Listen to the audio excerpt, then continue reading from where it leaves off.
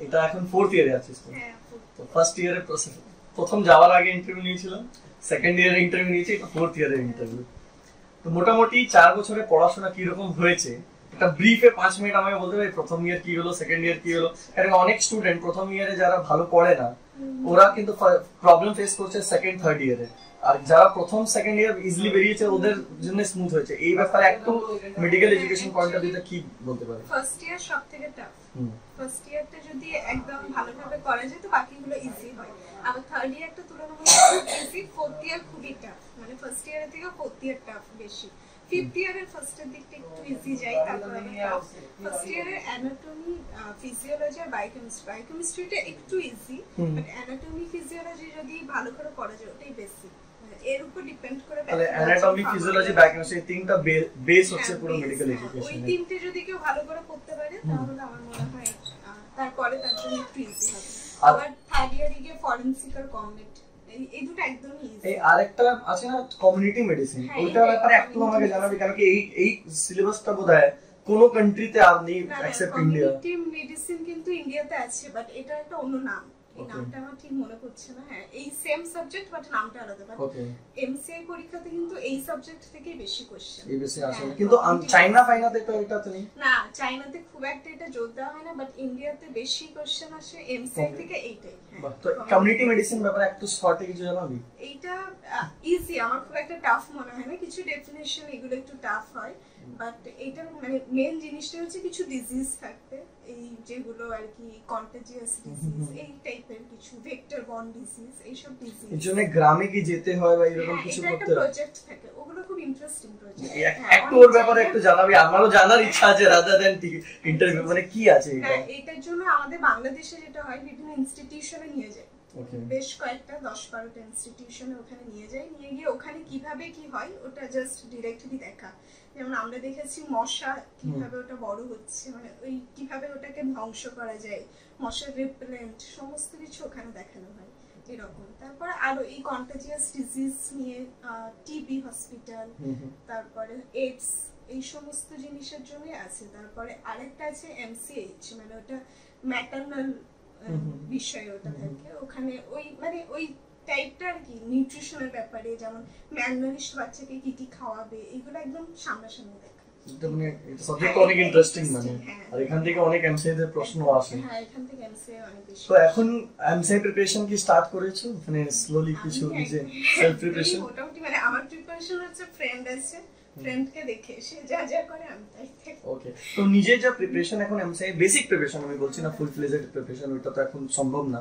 তো basic preparation করলে কি মনে হচ্ছে? বাংলাদেশে যা এখন অবধি পড়াশোনা হয়েছে ওর থেকে ইন্ডিয়ার এফএমজি পরীক্ষার জন্য যা প্রশ্ন আসবে বা পিজির জন্য আসবে কত ডিফারেন্ট আছে বা লেভেল কত ডিফারেন্ট আর এমসিআই যে এক্সাম ওটা কাছাকাছি। মানে অনেকটাই এমসিআই কভার যে করতে পারবে যে ক্র্যাক করতে পারবে পিজিটা তার জন্য অনেক ইজি যদি পরপর দিতে পারে।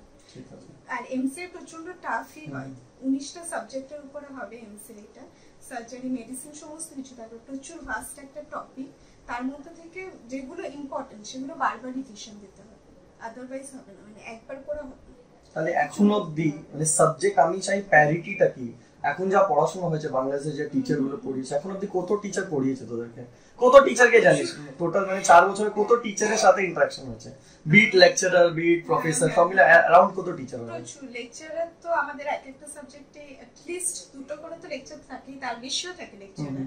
আবার টিউটোরিয়ালে লিস্ট চারজন থাকে। এক একটা এ? এক একটা সাবজেক্ট এইভাবে ধরতে গেলে প্রচুর। মানে টোটাল কত অলমোস্ট কত হবে? ফোর ইয়ারে কত টিচারের সাথে ডিরেক্ট ক্লাসেস হয়েছে? কেন কি কেন আমি প্রশ্ন করছি? অনেকজন যারা চাইনার রাশিয়াতে যায় ওরা একটা বা দুটো বা ম্যাক্সিমাম তিনটেই টিচার থ্রু ফাইভ ইয়ার দেখা দেখে। ওর উপর টিচার নেই।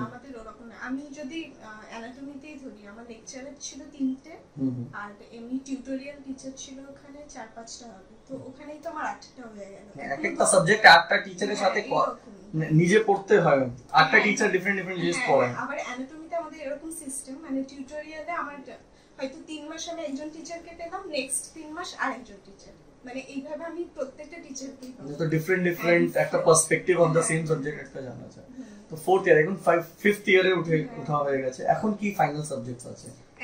Medicine surgery gynae paediatrics ophthalmology এইসব আমি মাঝখানে ফেসবুকে দেখছিলাম পুরো অপারেশন থিয়েটারে কিছু ছবিগুলো কি আছে ওটা? আমাকে একটু মানে ও, আমাদের সার্জারি ছিল। সার্জারিতে তিন মাস আমার প্লেসমেন্ট ছিল। ওই সার্জারিতে প্রত্যেকদিন এক একজনকে অ্যাসিস্ট করতে দেয়।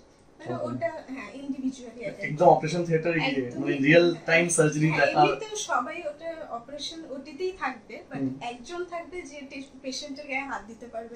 দিয়েছিস? পুরোপুরি হ্যাঁ দিয়েছিস? থার্ড ইয়ারে ইয়ার না আমি ফিফথ ইয়ারে ফিফথ ইয়ার ইয়ারে পেশেন্টকে during surgery time you are able to touch মানে এটা কি সবার জন্যই মোটামুটি চান্স থাকে কি একটু হ্যাঁ, স্পেশাল সবারই থাকে সবাই এই চান্সটা পায়। হ্যাঁ, যেরকম রাশিয়া সাথে কোনো পেশেন্টকে কোনোদিন টাচ করতে দেয় না।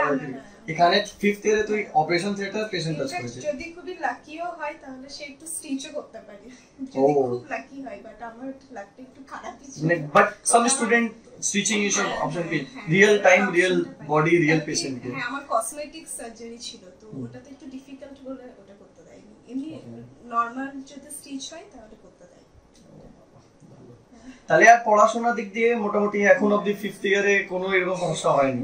কিছু কিছু মনে হচ্ছে কি কোনো জায়গায় কিছু মানে মিস হয়ে যাচ্ছে বা এইটা থাকলে বেটার হতো যা ইন্ডিয়াতে আছে বা বাংলাদেশে নেই ওই সাবজেক্ট বা ওই পার্ট অফ সাবজেক্ট এরকম কিছু পোর্শন আছে যা আমরা গিয়ে পরে বলতে পারি কলেজে বা বিএমডিসি থেকে কি ইন্ডিয়া থেকে কিছু ডিফারেন্ট যা মনে হচ্ছে বা ভিজিবল আছে।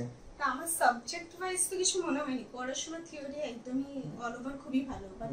হ্যাঁ এখানে কি হয় এখানে গভর্নমেন্টে হয়তো অনেক বেশি পেশেন্ট আসে অনেক বেশি ভ্যারাইটিস অফ পেশেন্ট হ্যাঁ। ওইখানে ভ্যারাইটিটা একটু কম।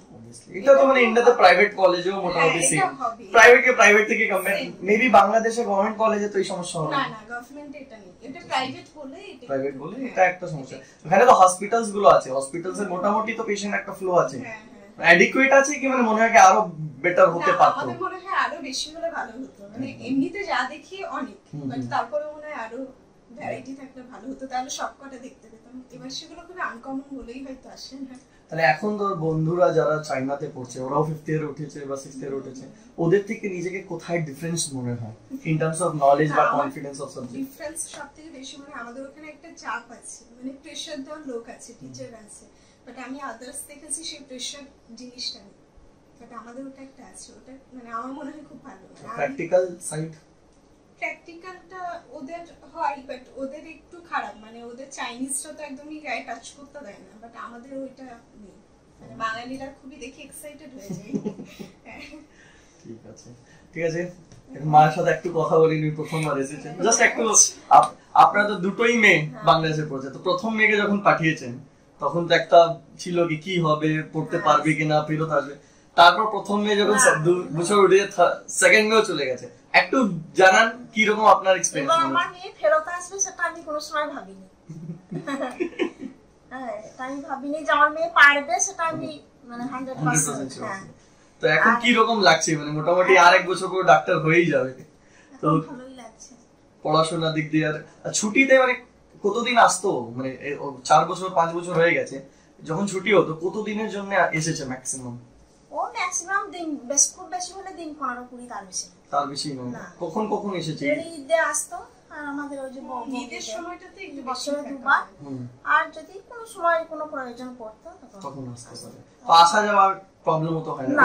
যেরকম অন্য কান্ট্রিতে তিন মাসের ছুটি হয় বছরে বা আড়াই মাসের ছুটি দুবার করে দেয় এইরকম কোনো ছুটি পেয়েছ?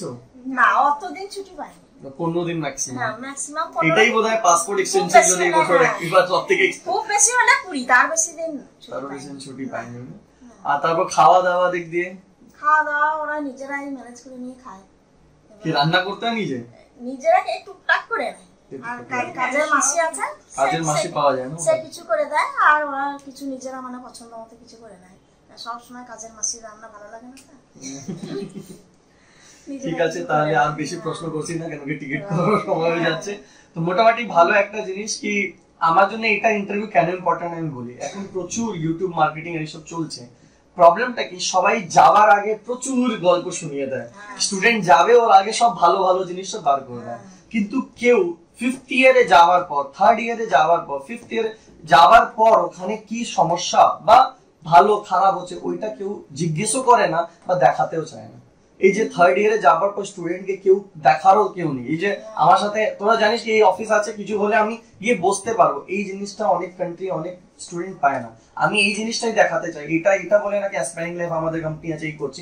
ওভারঅল ইন বাংলাদেশ যার মাধ্যমে যাক অ্যাটলিস্ট এই জিনিসটা আছে কি এডুকেশন সাপোর্টটা প্রপার আছে। এইরকম নাকি এই, আমি যদি চাই ফেল করে দিতে পারব, এটা কি আমার হাতে সম্ভব আছে?